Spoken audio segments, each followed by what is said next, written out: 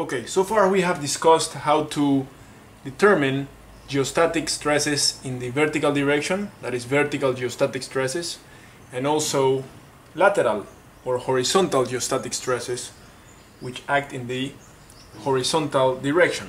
Okay, the vertical stress sigma and the vertical effective stress sigma prime act on the horizontal plane, and the horizontal stress sigma h and the horizontal effective stress sigma h prime they act on the vertical plane.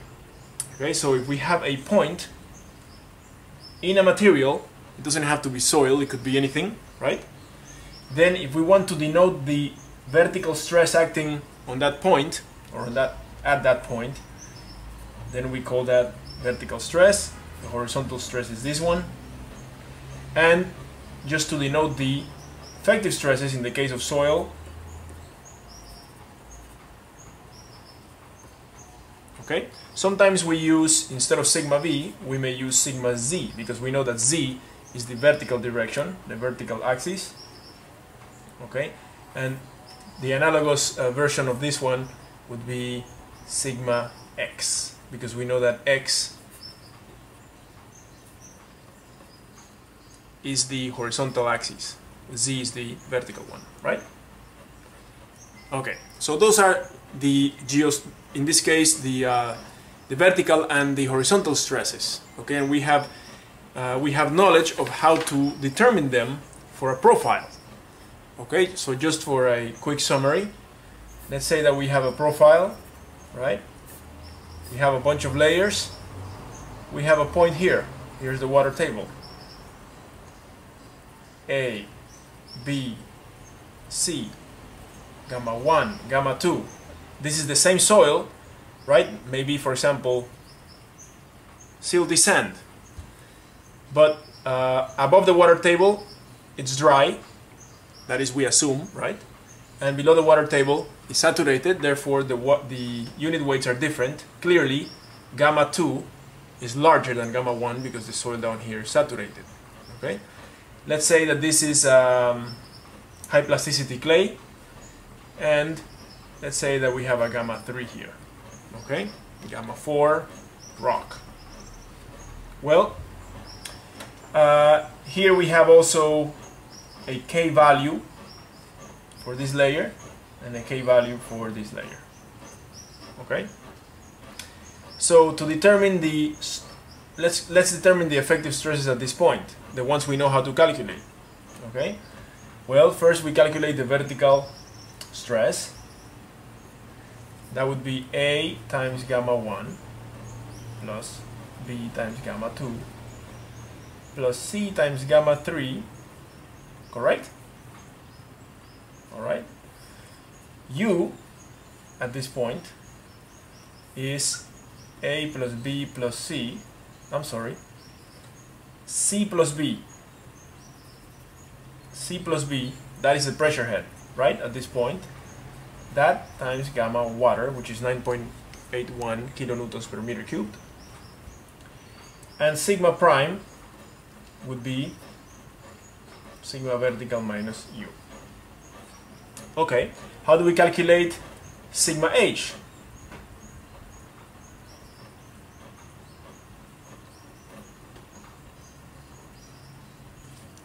Well, remember that we have to use k for that, right? the coefficient of lateral earth pressure at rest, which is either this one or this one. You tell me, which one do you think? Well, if you guessed K2, you're correct because the point is in the layer that has this K. So, we know by definition K sigma H prime over sigma V prime. That is the definition, right? Therefore, sigma H at this point is K2, which is the relevant K, times sigma v prime, which is what we have here. Okay, so that is given, that is calculated, therefore we can get that. And sigma H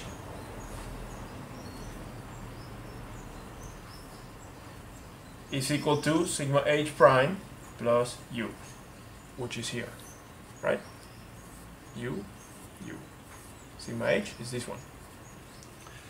So, what the particles feel in the vertical plane at this point, plus what the water feels in all planes, because this is a pressure, is equal to what both of them feel, particles and the water, on the vertical plane. Remember that the horizontal stress acts on the vertical plane. It's a vertical plane, right? The plane is the pencil. I'm sorry for that. I'm going like this to denote the direction of the stress. Okay? Now, what happens if we have a profile? Here's our point. And we are interested not in the vertical stress or effective stress. We're not interested in the horizontal stress or the horizontal effective stress. But we are interested in a stress that acts in a plane that is not the vertical plane and is not the horizontal plane. We're interested in a stress that acts like that.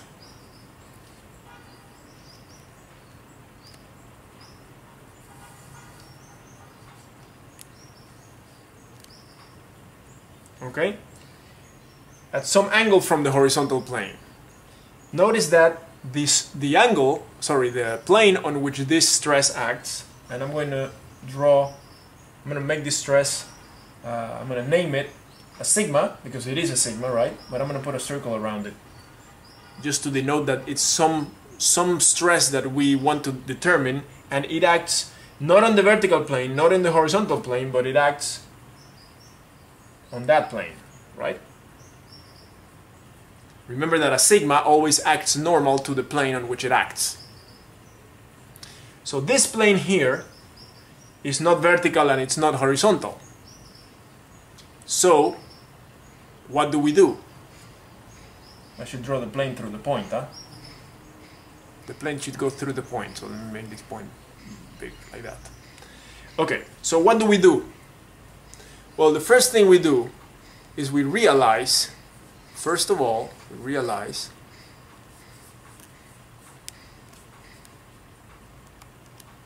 that the ground is flat. Okay? If the ground is flat,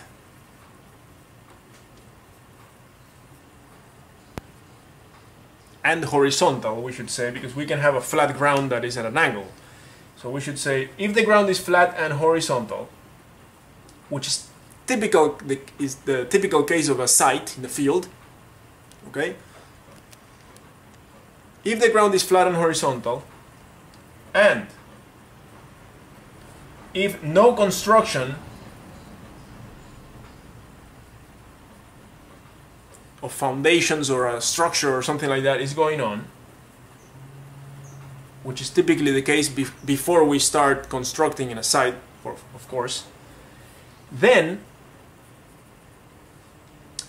sigma h and sigma v and also sigma h prime and sigma v prime are special okay? They have a they are special stresses.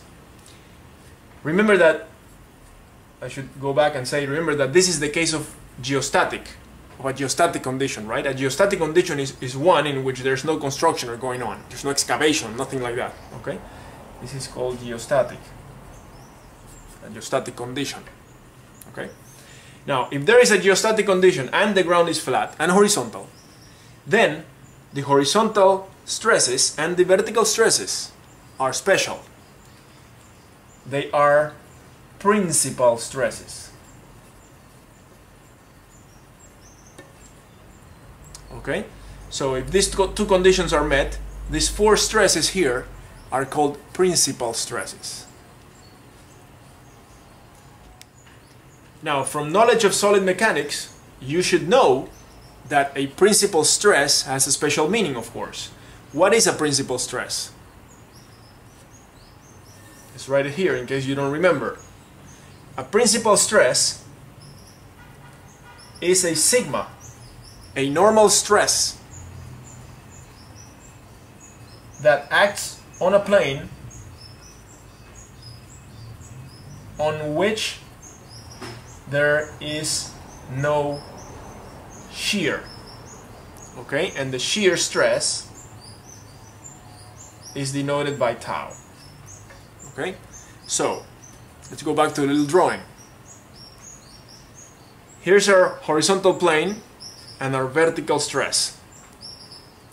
That vertical stress is a principal stress. Either the sigma or the sigma, both the sigma and the sigma, sorry, the sigma vertical and the sigma vertical prime. Both those stresses that act on the horizontal plane are principal stresses because the ground is flat and horizontal and there's no construction or excavation, etc. going on. That stress, okay, or those two stresses, sigma, sigma v prime and sigma v, they're principal.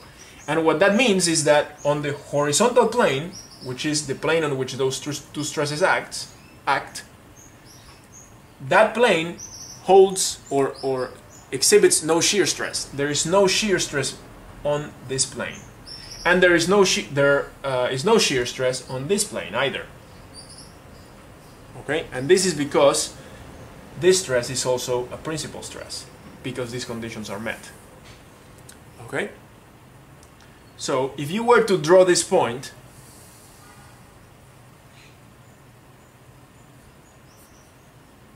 as an element, okay, and this is the, the place where many students get confused there's no need to get confused. This is a point, and this is a point. But this is a point under the microscope. We just draw it as a square because that's the humanoid way of looking at things, okay? We like to look at things that have the specific shapes that are simple to us, and therefore we just draw it like this, okay? This and this are exactly the same, just that we draw the point in a big way like this, just so that we can put arrows and things on it. That's it, okay? So, if we draw an arrow for the, let's say, the vertical effective stress, then we know that that plane, remember this is the point, huh? that plane on which the stress acts is a principal plane, this is a principal stress, and the tau that we would draw here is zero.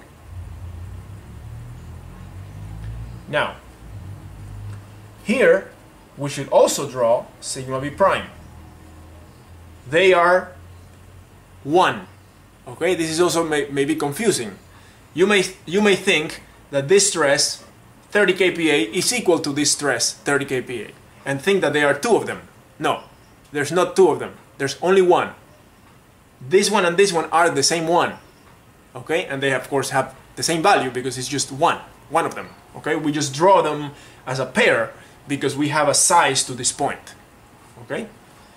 Now, here is the horizontal effective stress. Which one? Well, the two of them make one. We, we just draw two of them because that's our way of looking at things. Okay? This stress is this stress. They are the same stress. There's only one of them. Okay? But we draw two arrows because this point has actually a size in the piece of paper. Okay? So there's only one sigma v prime, there's only one sigma h prime. Because this tau is zero, then this tau must be zero, this tau must be zero, and this tau must be zero. Okay, why is that? Because we have a static case. If this tau is not zero, is, uh, well, sorry, if this tau is zero and this one is not zero, then actually that is a, uh, something that is um, there is a, a, a fundamental error because this tau is the same as this tau. In fact, this tau and this tau and this tau and this tau, they are the same value, okay? These two are the same one, and these two are the same one. So there are two taus. This one and this one. The first one is denoted by two opposing arrows, and the second one is denoted, denoted by two opposing arrows that are normal to the first one. Okay? If this one is 0, then this one is, is 0 because this one and this one are the same. They are 1. Okay? The opposite one, which is denoted by these two arrows here, takes the opposite, has the same amplitude as this one, but has the opposite sign. So if this one is 0, then this one would be negative 0, which is 0. Okay? Now, Going back to the principal uh, stress and principal plane concepts. This stress sigma v, that stress, is principal, therefore this tau is zero. This stress is principal, therefore this tau is zero. Okay, so everything makes sense. Now let's make a parenthesis and try to have another example where you see this, these stresses again, or better, let's say, with a more of a generic, uh, not generic, but uh, with numerics, with numbers, not numerics, numbers. Okay, here's our point. We are humans, therefore we draw the point like this. Let's say that this stress is 30. That's the vertical stress. The horizontal stress is 20. That's the way that we denote those two stresses. But you may say, hold on, there are four of them. No, there's not four of them, there's two of them. One, two. Okay? Now let's say that I tell you the shear stress here is 5. Okay? That is just a way of denoting it. Automatically you say, well, I need to add to draw an arrow here of 5 because this and this are used to denote a stress, just like these two arrows are used to denote this stress of 20. Okay? These two arrows here are used to denote the stress of 30. And these two arrows are used to denote the stress equal to 5. If that's the case, then I can draw here another pair of arrows that denotes the stress, shear stress, that is equal to minus 5. So we have how many stresses? Four. The 30, the 20, those are sigmas. The 5 and the minus 5, those are taus. Sigma vertical, sigma horizontal, tau, and tau.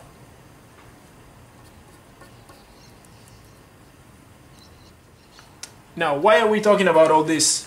Why did we go back to solid mechanics and, and explain or clarify, let's say, or remember, try to remember these concepts? It's because remember we're trying to determine for a geostatic condition with a flat ground and no construction, the stress that acts in some random direction, okay, on a plane that is not a principal plane. Well, that should have been revealed later. But this plane is not a principal plane. This plane is, and this plane is. But this stress that we want acts on that plane. That plane has a certain angle, 50 degrees say, from the horizontal axis, or from the horizontal. Okay? How do we determine that stress? Well, here's where we have to go back and realize that we have a very, very powerful tool that is called the Mohr circle. Okay? The Mohr circle is a tool. And some students uh, come into this class and they do not really have a grasp of the Mohr circle and uh, what it is and, and what, it's, what is it supposed to mean, etc. And it's very simple. It is actually just a tool, like a ruler, okay, or a calculator. It's a graphical tool that we use to determine stresses at a point.